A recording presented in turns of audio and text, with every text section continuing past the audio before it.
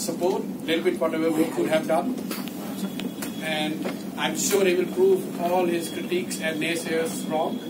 He will deliver the best possible government which Andhra should get, and you are all going to be contributing to it. And for the opportunity, I want to thank him on all of your behalf. Thank you very much. Be the best Chief Minister with Andhra.